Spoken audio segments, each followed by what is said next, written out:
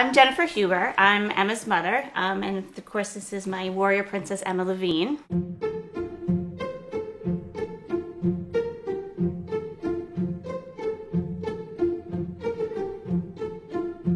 This is Emma's stepfather, Vaughn Huber, and her stepbrother, Nicholas Huber. We are a Rangers family for sure. this is my Rangers shrine. Chris Kreider is my favorite player. I got to kiss him on the cheek, which was pretty special and not too shabby for a first kiss. This is the jersey that I'm wearing right now. I was dropping the puck and I was shaking McDonagh's hand. I'll remember that forever. In August of 2016, Emma was diagnosed with cancer. She had a tumor on her right kidney, had her kidney removed. Unfortunately, um, in November of 2017, we discovered that she had relapsed and her cancer had metastasized into her lungs. And she's still currently actively fighting her cancer. This is literally a shining day today, rain and all. We're going into us surprise Emma. What's up? Hi. How are you? Good, how are you? You know where I'm taking you today, don't you?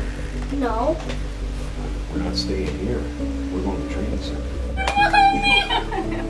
Got a few other surprises, just so we can see that smile, that beautiful smile. Thank you. So, who's your favorite band then? Maroon 5.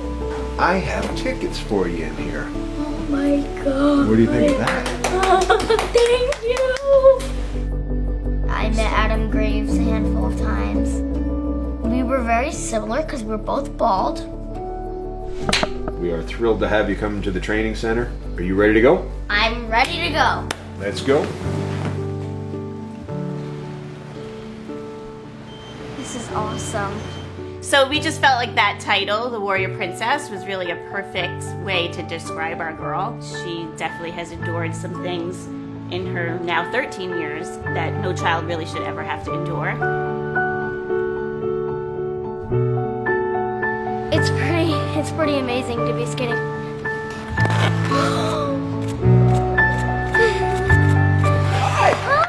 What's up?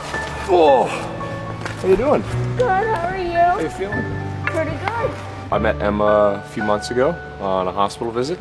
Her attitude and her energy is nothing short of inspiring. It's awesome spending time with her.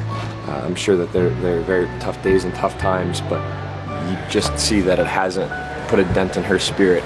They call her Warrior Princess for a reason, huh? One more surprise for you. Okay. Royal Caribbean and the New York Rangers are going to send you guys on a seven night cruise.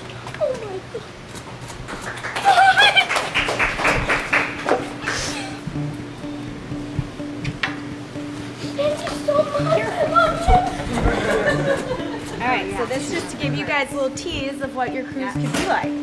Are you ready? Yeah.